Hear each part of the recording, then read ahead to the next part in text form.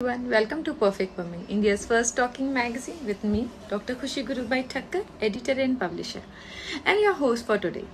Talking about my today's perfect woman, she is a dash of color, hint of style, and a whole lot of glamour. We're talking about none other than Gurpreet Ghura, a Mumbai based celebrity makeup artist. Gurpreet is a woman of confidence, inspiration for many. With each stroke of brush, she redefines the art of cosmetic in her own way, making her the most sorted makeup artist of the industry.